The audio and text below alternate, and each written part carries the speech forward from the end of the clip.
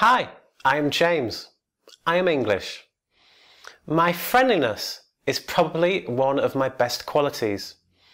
I love my friends and family. I love helping my friends when they have a problem. My friends love me.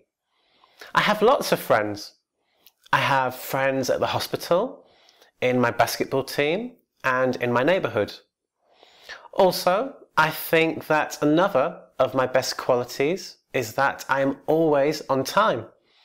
I am never late. I hate waiting. I have two friends who are always late. It's frustrating.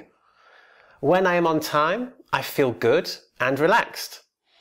Finally, I am helpful. I always try to help people. This is one of the reasons why I love being a doctor.